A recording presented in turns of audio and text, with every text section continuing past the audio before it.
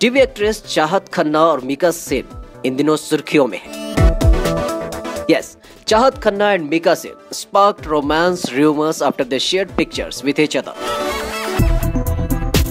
Mika Singh और चाहत खन्ना की viral हो रही इन तस्वीरों से इनके बीच के लव अफेयर्स और डेटिंग की खबरें सुर्खियों में हैं। इतना ही नहीं, चाहत खन्ना ने फ़ोटो शेयर करते हुए कैप्शन में जो लिखा, उससे भी लोगों ने ऐसे अंदाजे लगाने शुरू कर दिए चाहत खन्ना ने लिखा लॉकडाउन में चलो किसी का क्वारंटाइन बनते हैं। हम दोनों ने इसलिए एक दूसरे को ढूंढा। मैं इससे काफ़ी काफ़ी खुश हूँ।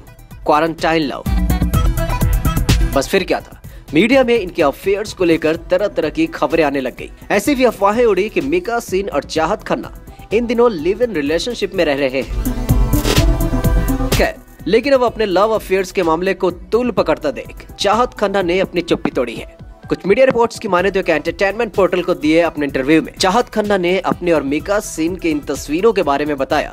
वो दोनों काफ़ी अच्छे दोस्त हैं और काम के सिलसिले में एक दूसरे से मिलते रहते हैं। और ये तस्वीरें म्यूज़िक वीडियो के प्रमोशन के लिए थी। आपको बता दें कि जल्द ही चाहत खन्ना और मिका सिंह एक म्यूज़िक वीडियो में आने वाले हैं, जिसका नाम क्वारंटाइन लव है। और इसी कारण पिक्चर शेयर कर कैप्शन में क्वारंटाइन लव लिखा गया था। और लॉकडाउन के कारण वीडियो का कुछ पार्ट घर पर ही शूट किया गया है वहीं आपको बता दें कि चाहत खन्ना और मिका सिंह एक दूसरे के पड़ोसी भी हैं। चाहत खन्ना अपने पर्सनल लाइफ को लेकर भी चर्चाओं में रही हैं। साल 2013 में चाहत ने फरहान मिर्ज़ा से शादी की और 2018 में इनका तलाक हो गया चाहत खन्ना एक सिंगल मदर है